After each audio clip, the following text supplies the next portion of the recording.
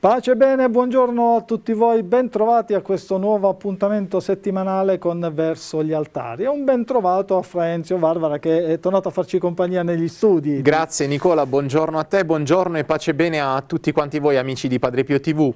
Eccoci, siamo di nuovo insieme per eh, proporre all'attenzione dei nostri amici telespettatori fra Ezio eh, altri, eh, altre figure sicuramente belle, importanti dal punto di vista della spiritualità, in questo cammino di santità, scuola d'amore, come ormai siamo abituati a chiamarla. a chiamarla, che settimanalmente vogliamo proporre. Fra Ezio, il tema della croce è pressoché costante. È il cuore, dovrebbe essere il cuore della nostra argomentazione della nostra scuola e quindi lo facciamo subito parlando di una figura che abbiamo già in altre puntate affrontato e conosciuto, la figura di padre Matteo Dagnone, nostro fratello cappuccino, e a parlarne, e lo ringraziamo già, e di nuovo in collegamento con noi, dovrebbe essere dietro già gli schermi in collegamento con noi, Fra Antonio Tartaglia.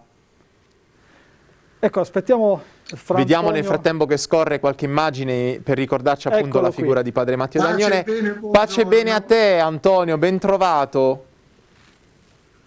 Bentrovati a voi, è sempre un piacere vedervi. Allora Antonio, noi riprendiamo questo nostro cammino, come dicevamo poc'anzi, Nicola mi ha anticipato con la, la, dimensione della croce e non possiamo non, non, farla con una delle figure più illustri come lo è stato padre Matteo Dagnone in, quel, in quelle sue prediche quaresimali e in quel, quel desiderio d'amore che aveva verso il crocifisso. Approfittiamo in questo momento di fare lezione con te a questa scuola d'amore in questa prospettiva. Quindi aiutaci a capire meglio il senso profondo della croce e come appunto Padre Matteo la viveva e la trasmetteva al popolo di Dio. Beh, lezione è una parola un po' grande con me. Noi prendiamo lezione da chi ci ha preceduto, quindi in questo caso da Padre Matteo, da tantissime altre figure di santità che ci hanno preceduto e che sono stati innamorati della croce, ma non una croce fine a se stessa, una croce mortificante o una croce blu, perché giustamente la parola croce è una parola che ha un'accezione un po' bruttarella, insomma, a chi piacciono le croci. Don Tonino Bello diceva le appendiamo alle nostre case, le portiamo al nostro collo, eh, ma nessuno eh, le porta invece veramente degnamente.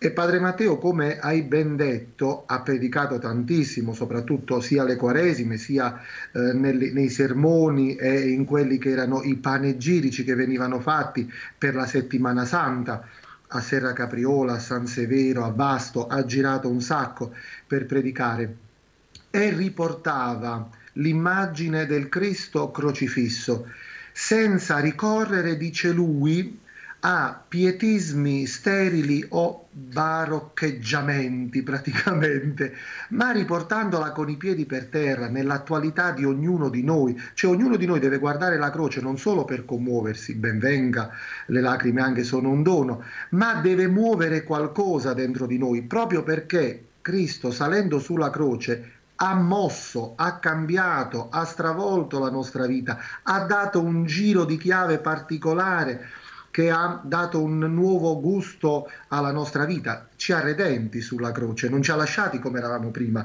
non ci siamo fatti solo un bel pianterello, non ci siamo emozionati davanti alla croce. Questo dice Padre Matteo. E quindi allo stesso tempo anche noi, vivendo la croce, ma non come cosa negativa, perché Padre Matteo vede la croce come il luogo dei sacramenti, cioè noi nei sacramenti ritroviamo la croce. In effetti noi nell'Eucarestia cosa troviamo? Annunciamo la tua morte, Signore, proclamiamo la tua risurrezione. Nella confessione, nella riconciliazione, cosa vediamo? Eh, per i meriti del sangue di Cristo che ci ha redenti, noi veniamo perdonati, riceviamo la misericordia di Dio. Quindi in questi momenti noi siamo sotto la croce, dice Padre Matteo, e come Cristo ha cambiato il mondo dalla croce, anche questi sacramenti devono cambiare la nostra vita e il nostro modo di agire e di vedere. Quindi in questo senso lui dava ecco, la svolta di questa visione centrale della croce per ogni, per ogni cristiano. In, in, alcuni libri che padre Cipriano ha, ha, diciamo, ha, pubblicato, ovviamente riportando dei contributi di alcuni teologi, eh, tipo per esempio Pitta o altri teologi, Gambaro, eh, tutti insomma teologi di un certo spessore, insomma, quindi che hanno anche nella settimana di studi che è stato fatto nel lontano 2008 e, eh, ha riportato proprio alcune, ehm, come alcuni, diciamo così, tra virgolette, non mi piace proprio come parola, però alcuni slogan, ecco, alcuni motti che venivano ripresi e ve ne leggerei uno, per esempio, ehm, il crocifisso è lo specchio nel quale si riflettono la potenza, la sapienza, la bontà, la giustizia, la generosità e l'amore di Dio. Quindi questo è per farci vedere cos'è, ma è anche lo specchio nel quale ognuno di noi guarda le macchie dei propri vizi. Ovviamente non fine a se stessi, guardiamo le macchie e basta. No, le guardiamo per poter vedere cosa dobbiamo togliere di mezzo dalla nostra vita, che non va. Quindi è una, eh, Gambaro dice anche una cosa che abbiamo sempre detto pure noi, un'attualità del messaggio sempre tante volte spiazzante, perché non rimaniamo solo lì incantati sotto la croce, che è una bella cosa contemplare la croce, ma deve portare frutto. È l'albero della vita la croce, quindi non l'albero della morte. Ecco Fra Antonio, eh, abbiamo parlato di un messaggio che sicuramente, come hai anche eh, anticipato, è eh, tutt'oggi attuale e stiamo parlando di un uh, frate che è vissuto tra il 1500 e il 1600, ecco, delle figure sì. così eh, lontane nel tempo, uh, tra l'altro caratterizzate da una umiltà davvero profonda, che ancora oggi hanno tanto da dirci. Già questo di per sé eh, fa riflettere, è vero? Sì, sì, eh, ci fa riflettere perché lì vedi quanto un, un, messaggio è veramente viene da un cuore che è stato animato dalla parola di Dio, che è stato fecondato dalla presenza di Cristo perché tanti hanno parlato nella storia, tanti hanno detto, tanti dicono ancora, però sono parole che lasciano il tempo che trovano, che vanno via, che vengono dimenticate, oppure soprattutto uno può dire le ricorda, però dice queste parole andavano bene per un tempo. Invece quando veramente le nostre parole, come le parole di tanti santi, eh, di tante figure belle che veramente hanno incarnato Cristo sulla faccia della terra, ecco, profumano di Cristo e quando una cosa è bella e profumata vale sempre, è come que- quei profumi che non perdono mai la loro fragranza. Ecco Antonio, richiamando un pochettino quell'immagine che facevi, bellissima, perché anche attuale è stato un trattato, potremmo dire così, anche di altri santi, quello della croce come specchio. No? A me, eh, appena parlavi, mi tornava molto in mente anche la figura di Francesco d'Assisi e di Pio da Pietrelcina, che eh, veramente il Signore eh, si è riflesso in loro, quindi hanno avuto l'opportunità di, ecco, di, riportare, come dicevi tu poco anzi, la persona di Gesù crocifisso, quindi quel crocifisso che è allo stesso tempo risorto, che porta i segni delle piaghe, ma che appunto viene a, a, portare un messaggio, che è un messaggio sicuramente di speranza e di pace, di cui oggi ce n'è molto bisogno. Certo, certo, perché noi dobbiamo guardare appunto per, per guardare oltre, non dobbiamo guardare ecco, e fermarci ad oggi, perché se ci guardiamo e vediamo, lasciamo stare il periodo che stiamo vivendo che è un po' particolare, ci vengono solo notizie negative, ma nella vita di ciascuno ci sono alti e bassi, ma se ti fermi solo davanti a quel problema, eh, sì, puoi guardarlo, però devi guardarlo per risolverlo.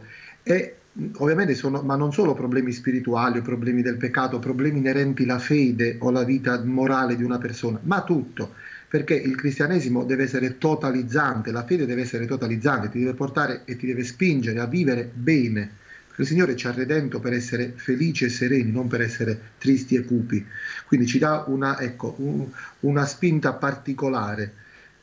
Ecco, correggimi anche se sbaglio, all'epoca di padre Matteo Dagnone sicuramente la predicazione, come era solito per i nostri cappuccini, si rappresentava anche plasticamente con la croce, no? Sì, Quando sì. si predicava si teneva la croce tra le mani, no? Sì, sì, sì, i predicatori portavano la croce tra le mani, infatti in molte, eh, in molte prediche di Padre Matteo eh, viene messo, ovviamente, i, evidentemente chi ha riportato queste prediche, poi o lui stesso, c'è il momento in cui, ecco, dice mostrando la croce.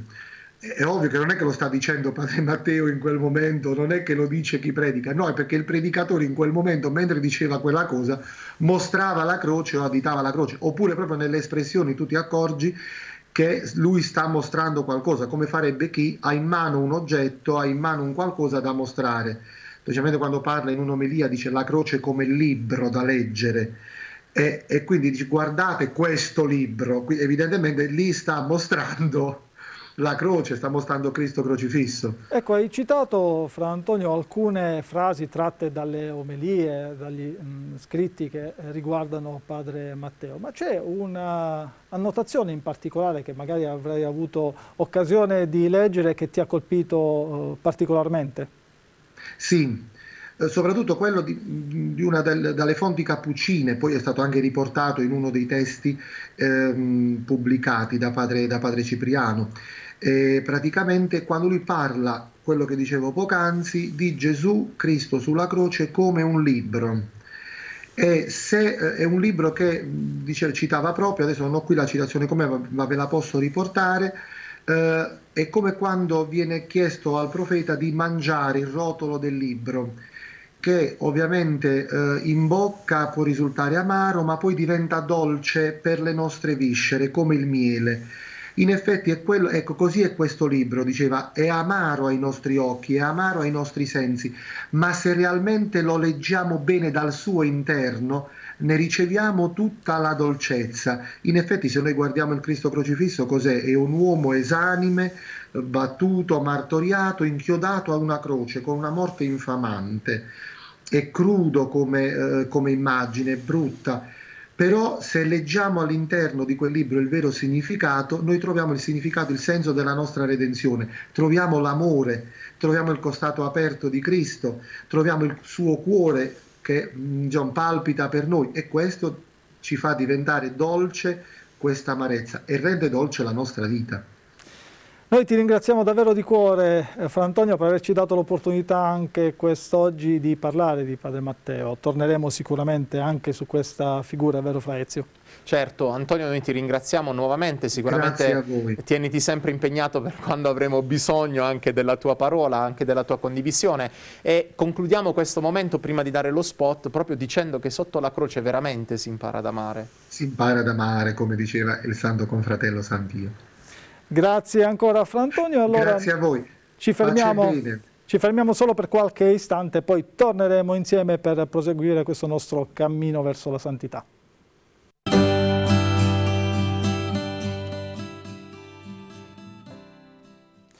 Bene, torniamo in studio per proseguire parlando ora di un cappuccino dei nostri tempi, legato a Padre Pio, legato al santuario della Vergine di Pompei. Si tratta di Monsignor Francesco Saverio Toppi, di cui vediamo questa clip.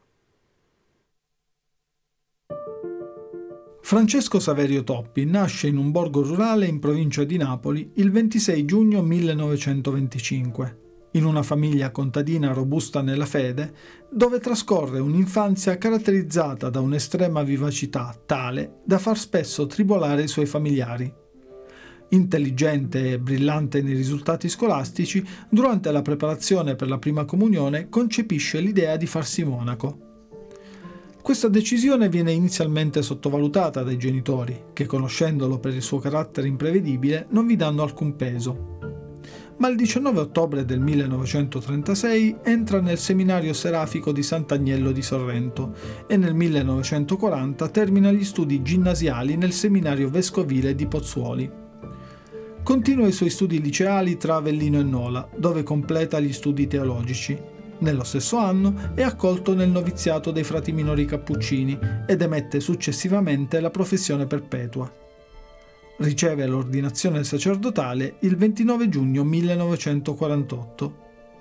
Lo studio prima e l'insegnamento poi lo vedono impegnato all'Università Gregoriana di Roma, dove si laurea in storia ecclesiastica, materia che in seguito a Napoli insegnerà. Si distingue come un colto intellettuale raffinato, si diploma in archivistica. L'ordine gli affida responsabilità e autorità che accetta con obbedienza innamorato di Cristo, fa di lui il centro e il riferimento della sua vita.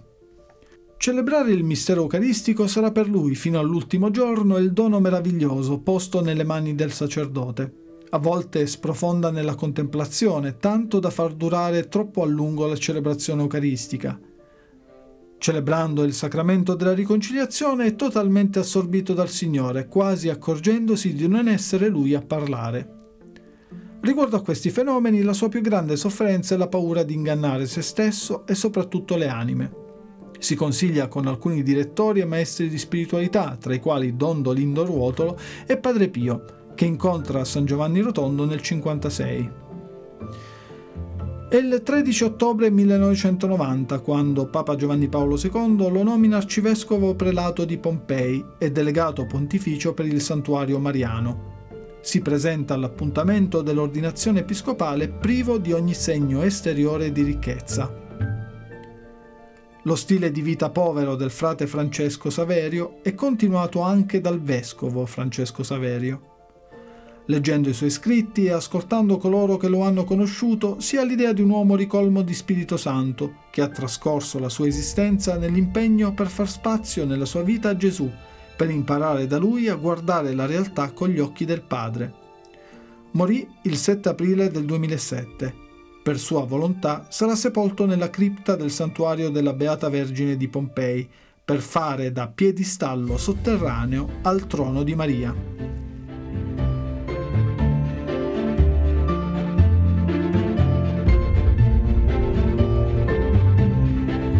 ecco ritorniamo a parlare di questa figura, Nicola, piccolo di statura ma grande di cuore, è appunto la figura di Monsignor Saverio Toppi, il nostro fratello cappuccino Saverio Toppi e a parlarne con noi ci sarà nuovamente padre Massimiliano che dovrebbe essere in collegamento con noi, lo vedremo a breve sullo schermo. Padre ecco Massimiliano, qui. benvenuto, bentornato in mezzo a noi.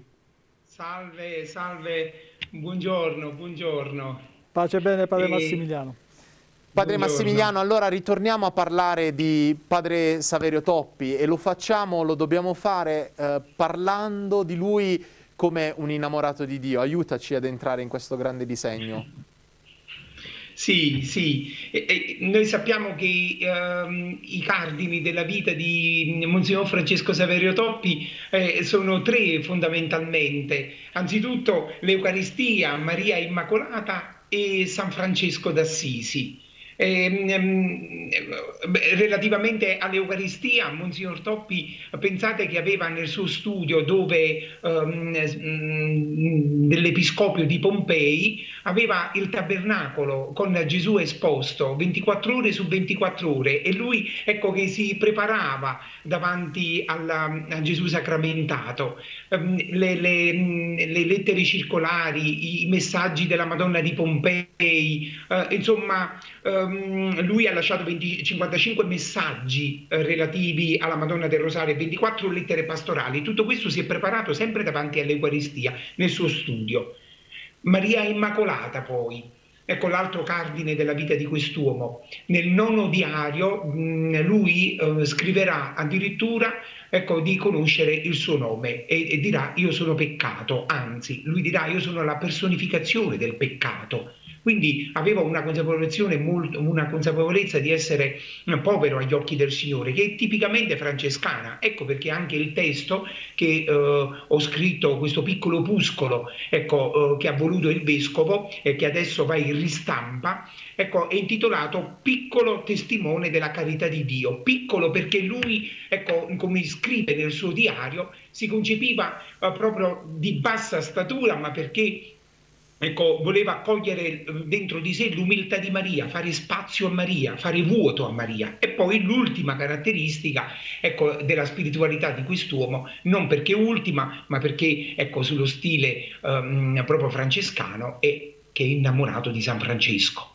E, e qui ciò che lo rende, e questo lo rende vicino alle periferie esistenziali Ricordiamo che due sono stati i cardini della vita del nostro serafico padre Francesco d'Assisi, è l'incontro con il crocifisso di San Damiano e l'incontro con i lebrosi. Eh, dopodiché lui stette un po' e uscì dal mondo, come dice eh, Tommaso da Celano, e incominciò a visitare i lebrosari e a fare carità con i lebrosi. Ecco, France- Monsignor Francesco Savero Toppi, il venerabile Toppi, incomincia a, um, ad avere un'attività intensa, soprattutto verso le attività del, mm, del santuario di Pompei, che sono improntate alla spiritualità proprio eh, del Beato Bartolo Longo e quindi Monsignor Toppi visita eh, gli ammalati, um, i carcerati, le donne gravide, um, gli orfanelli. Eh, quindi una spiritualità mh, vicina alle periferie esistenziali. Ecco, e anche mh, questo lo, lo, lo, rende, lo rende ancora più povero, a tal punto che lui dice Ecco, l'anima mia magnifica il Signore e vuole attirare su di sé lo sguardo di Dio, ecco, um, rivestendosi di questa umiltà di Francesco d'Assisi e anche um, dello stile di Maria, lui che a Palermo lo chiamavano addirittura uh, lo prepito tutto mariano, tutto innamorato della Madonna ecco, nel dialetto proprio um, palermitano. Lo prepeta tutto Maronna, eh, ecco, gli dicono. E questo è un tratto distintivo che sicuramente lo lega a maggior ragione con uh, Padre Pio. A questo proposito cosa puoi dirci? Eh, lui, eh, vedete che negli anni 56-59 sono stati gli anni più difficili della vita del venerabile Monsignor Toppi, eh, perché eh, è il triennio ricco di doni carismatici. E quando dico doni carismatici mi riferisco a quelli che sono stati eh, sottolineati dalla Santa Madre Chiesa. Ecco, e quindi quali sono? La leggerezza del corpo, la, le locuzioni interiori, um, i rapimenti estatici, um, la lievitazione. E eh, Toppi eh, aveva paura, ecco, n- non riusciva a capire quello che succedeva um, nel suo corpo, nel suo animo. E ecco perché aveva paura, come è stato detto anche nel clip uh, che è stato visto all'inizio di questo um, documentario, uh, aveva paura di ingannare le anime. E allora si lega da Padre Pio ecco, e, um, e dice, gli chiede a Padre Pio che cosa fosse, eh, stesse succedendo nella sua vita. E Padre Pio dice... Uh, non ti accorgi che è Dio e la seconda volta che va, Padre Pio gli dirà pensa ad amare Gesù. E, la ter- la, la, e l'ultima volta che andrà, Padre Pio gli dirà io ti voglio come mio figlio spirituale e io e te faremo cose grandi. Quindi, insomma, eh, tutto questo poi avallato anche da un grande sacerdote napoletano, della spiritualità napoletana, eh, visto che eh, ci troviamo nel territorio nostro, no? e, Don Dolindo Ruotolo, il quale è servo di Dio, eh, e eh, gli dirà, ecco, hic digitus est, qui c'è il dito di Dio in quest'uomo, glielo dirà proprio davanti. Uh, gli incontri avuti anche con la reverenda madre Anna Maria Canopi, uh, fondatrice dell'abbazia Mater Ecclesia, insomma tutti questi grandi esponenti della, della, della, della spiritualità um, cristiana fanno capire che quest'uomo non soltanto um, faceva seriamente, ma era alla ricerca veramente di Dio con, tutto, con tutta la sua mente, con tutta la sua volontà, con tutte le sue forze. E Padre Pio lo ha rassicurato in questo, quando gli disse io e te faremo cose grandi e mi sembra che questo oggi, con il decreto di venerabilità che verrà letto al santuario di Pompei, sia una testimonianza alquanto eloquente, visto che eh, i teologi all'unanimità hanno espresso eh, che quest'uomo veramente ha esercitato le virtù in grado eroico, eh, sia umane che um, anche uh, quelle uh, cri- um, cristiane. Ecco, grazie Padre Massimiliano di questa bella condivisione e testimonianza e noi abbiamo i cuori, i cuori intrepidanti proprio, trepidanti, che, pieni, pieni, ricchi d'amore soprattutto per quello che accadrà oggi. Che aria si inizia a respirare lì?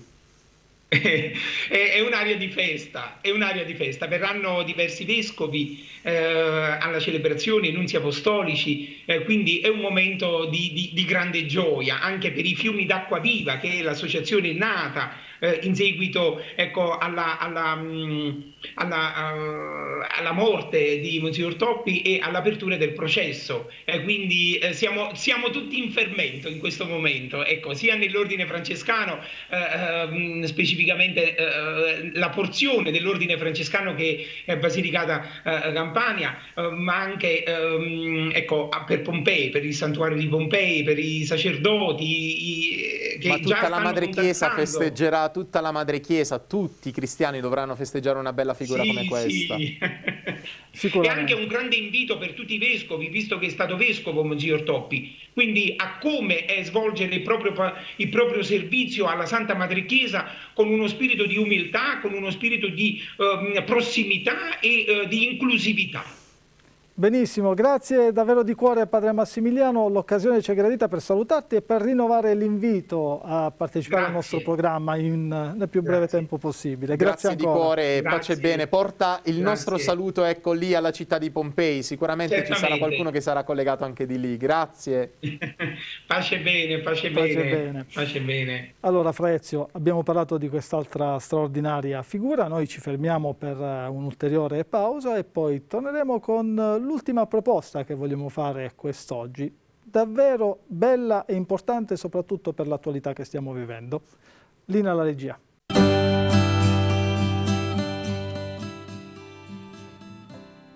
Torniamo insieme, proseguiamo ora introducendo un'altra figura di eh, santità ormai eh, sicuramente avviata questa eh, figura, come dicevamo, in un cammino davvero importante. Parliamo del beato eh, Tito Brandsma, di cui vediamo anche in questo caso una clip introduttiva.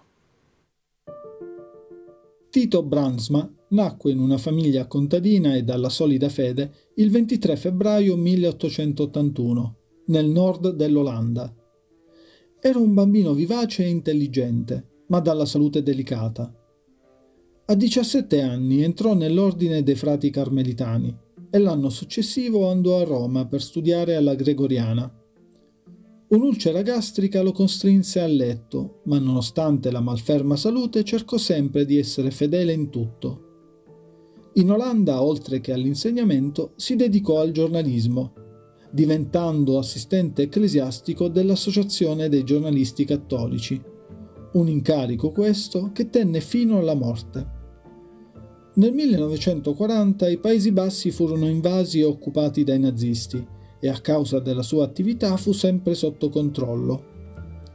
Quando ai giornali e periodici arrivò l'ordine di pubblicare solo avvisi e dichiarazioni ufficiali, per padre Tito non poteva che esserci opposizione.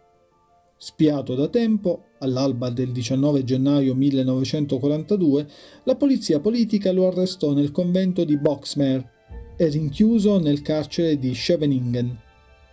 Il 12 marzo 1942 venne trasferito ai lavori forzati, subendo umiliazioni e sevizie di ogni genere. Dopo vari trasferimenti in diverse prigioni, fu condotto al campo di concentramento di Dachau, dove restò poco più di un mese. Padre Tito è destinato al blocco numero 28, dove incontra un giovane carmelitano olandese.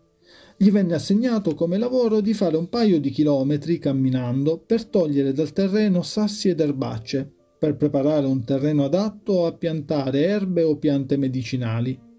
Doveva alzarsi alle 4 del mattino e marciare o cantare lungo la strada.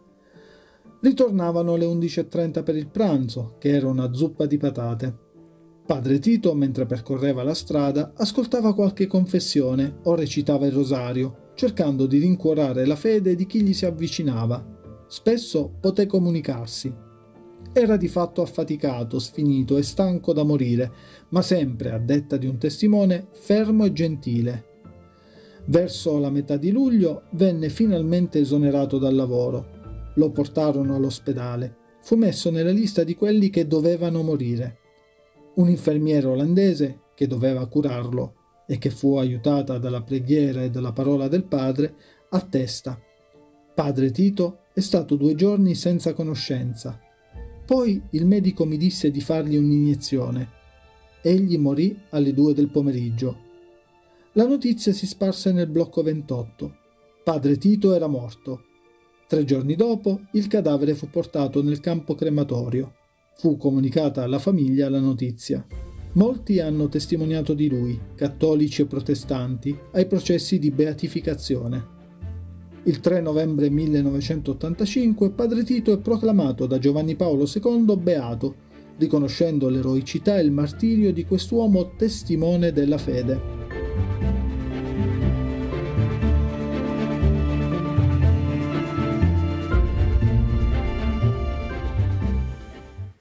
Questi alcuni cenni biografici dunque dell'esperienza terrena di Padre Tito e noi abbiamo in collegamento telefonico Padre Fernando eh, Milan, meglio siamo in collegamento uh, video perché eh, padre Fernando si trova in uh, Spagna ed abbiamo anche l'opportunità quest'oggi di, di, vederlo. Dicevo padre Fernando Milan che è co-vice postulatore della causa del beato Tito Bransma. Benvenuto tra noi padre Fernando, buongiorno. Buongiorno, buongiorno, grazie. Ecco, abbiamo detto dell'attualità del eh, messaggio di Padre Tito in una Europa che continua purtroppo ad avvertire eventi di guerra, una realtà quella che ha vissuto eh, Padre eh, Tito forte, davvero drammatica. Cosa possiamo eh, dire dell'attualità del suo messaggio? Sì, penso che purtroppo è molto attuale, dico purtroppo perché un'altra volta in Europa stiamo vivendo questa situazione di, di, violenza, di guerra terribile, di persone che devono fuggire dalle loro case e in questo contesto evidentemente la figura del padre Tito, un apostolo della pace, della riconciliazione, è, una figura di una grandissima attualità. Lui è stato capace di, di eh, confrontarsi veramente con, con, con, la politica del tempo, con questa, con questa tendenza orribile a, distruggere le persone, le città, le vite. Dunque è una figura veramente molto attuale purtroppo. Ecco, un'attualità del messaggio che eh, ormai dicevamo anche fra Ezio, eh, avviata davvero verso la santità. Uh, padre Fernando, ecco, sappiamo che c'è una data importante che uh, lo riguarda a questo proposito. Eh sì, il prossimo 15 maggio avremo la canonizzazione di, di Padre Tito, è una canonizzazione che da lungo si aspettava, è stato un processo molto lungo perché è stato il primo processo, non la prima beatificazione, ma il primo processo di un martire del nazionalsocialismo e Papa Giovanni Paolo II è stato molto, molto profondo nella sua omelia di beatificazione perché ha insistito eh, che non è soltanto la fine della vita del padre Tito a Dachau, una, una morte terribile, ma anche tutta una vita di, di servizio, di apostolato, di preghiera, di, di una vita interiore molto curata. No? Papa Giovanni Paolo diceva una eroicità così non, è, non viene all'improvviso, è il frutto di tutta una vita spirituale. Ecco Padre Fernando, questa puntata sta andando sulla linea eh, ecco, di, di, una figura particolare che è quella proprio della croce che ci sta accompagnando nella giornata di oggi. Ecco, nella clip sentivo, no, mi ha colpito molto quella che era inserito nella lista di coloro che dovevano morire. Io ci aggiungerei nella lista di coloro che dovevano morire per amore, perché appunto si sentiva nella clip anche che nonostante la sofferenza che viveva il padre Tito continuato, ha continuato ad essere gentile. E ecco, dici un pochettino questo, questo, uomo che è andato fino in fondo, ecco, forse è il termine più giusto per indicare questi uomini che muoiono per amore, andare fino in fondo. Sì, eh, sono contento che il programma di oggi è su questo tema della croce centrale nella nostra fede, evidentemente perché Padre Tito ha scritto due commenti alla Via Crucis, uno nel 1921 per un, un, i dipinti di un, di un, pittore che è stato un po' polemico, lui ha fatto un commento a, questo, a questi dipinti, e il secondo proprio in carcere, ha scritto un commento alle stazioni del, della Via Crucis eh, quale, nel quale manca la quattordicesima stazione, eh, forse perché neanche lui ha avuto una sepoltura, ha avuto una tomba, è stato eh, incinerato, no? bruciato eh, come si faceva nei campi di concentramento. E mi piace moltissimo la vostra riflessione perché veramente parlare della croce oggi sembra sia una cosa, non so, macabra, negativa Invece eh, il suo amore per la croce e per la passione eh, si è tradotto in un atteggiamento di gentilezza, eh, di fraternità, di umanità, anche nei campi di concentramento. È ricordato per questa sua eh, tenerezza diciamo, verso tutti, non voleva parlare male dei, dei, dei, degli SS, è stata una persona veramente in questo senso evangelica, con i valori più genuini del, del Vangelo. Ecco, vorrei dedicare questi ultimi minuti a nostra disposizione per un altro aspetto, fra Ezio, eh, padre Fernando, che è trapelato anche nella clip introduttiva, questo suo essere punto di riferimento nell'ambito dell'informazione, l'informazione cattolica, il giornalismo che ha tanto da imparare da questa figura, soprattutto per ciò che concerne eh, i condizionamenti che spesso l'informazione eh, subisce. Eh, padre Tito è stato anche un martire sotto questo punto di vista, proprio per tenere fede ai propri ideali e ai propri valori. Sì, ancora una volta il Papa Giovanni Paolo II, San Giovanni Paolo II, in una recezione che ha avuto con giornalisti a Roma, l'ha chiamato martire della libertà della stampa e poi è rimasta un po' questa, questa frase, è rimasta nella nostra memoria. Ancora in questo tema la sua figura, la sua testimonianza di una grande attualità perché in questi tempi di fake news, di lobby eh, nei quali l'informazione sembra un'arma più che un servizio alla gente, e Padre Tito è stato un testimone veramente eh, appassionato per la, per la stampa. Lui era un giornalista professionale e ha lavorato come direttore di un giornale, un giornale non, non religioso, normale. E, diciamo, allora è stata una persona molto legata ai giornalisti, eh, grande amico dei giornalisti e, penso che anche in questo ambito la sua figura, eh, lui ha riflettuto molto sul ruolo della Chiesa nel giornalismo dei nostri giorni, nella, nella comunicazione, nei mass media. Eh, allora sì, sì, anche in questo campo è, è, una figura veramente straordinaria. Lui si sentiva giornalista, io sempre dico che era la sua eh, seconda vocazione, la prima sacerdote carmelitano evidentemente, la seconda giornalista, amava i giornalisti. Ecco, io direi, Padre Fernando, una libertà di stampa, che è l'augurio che facciamo anche ai nostri giornalisti tutti a livello mondiale, ma anche in particolare a quelli che svolgono qui in Padre Pio TV questo ruolo, dei giornalisti che hanno una libertà anche di stampa, una libertà di parlare, che si concilia però, ecco, il Padre Tito questo ce lo insegnerà sicuramente, con la verità, perché non esiste libertà senza verità. E quello è il principio di base che accompagna, io penso, il giornalista, ma penso ogni cristiano. Infatti lui ha un, altro motto che si è ripetuto molto, dopo le chiese eh, i giornali dovrebbero essere eh, la cattedra della verità, cioè, la, per lui era, era, un servizio umile, un servizio fraterno alla verità e un servizio anche coraggioso perché veramente questo è stato il motivo concreto per il quale lui è stato arrestato e, e ha dato la sua vita, cioè il motivo concreto eh, penale diciamo, era, era, era, il motivo della stampa che i giornali cattolici pubblicassero eh, la propaganda nazista. Ecco padre Fernando, oggi abbiamo voluto soffermarci su questa figura ma appunto attendiamo anche noi eh, sicuramente con gioia la data del 15 maggio, sarà l'occasione anche per tornare a parlare di lui. Intanto grazie davvero di cuore e buon lavoro. Grazie a voi, è stato un piacere, grazie, buon grazie. servizio anche a, alla verità, all'informazione. Grazie, grazie di cuore. Frezio. Allora Nicola, ecco l'augurio più bello ce l'ha dato appunto padre Fernando, che è un augurio che facciamo a tutti i giornalisti nel campo mondiale, soprattutto anche in questo periodo così difficile. Lo facciamo ai nostri giornalisti di Padre Pio TV, tutti coloro che ci stanno seguendo. E l'augurio è proprio questo, no? una libertà che però si esprime nella verità e la verità sappiamo non è un concetto astratto, non è filosofia, ma è una persona anche concreta. Concreta. Eh, vera e propria, certo. no? lo dirà il Signore, lo dirà appunto anche nel, nel Vangelo di Giovanni, io sono la via, la verità e la vita.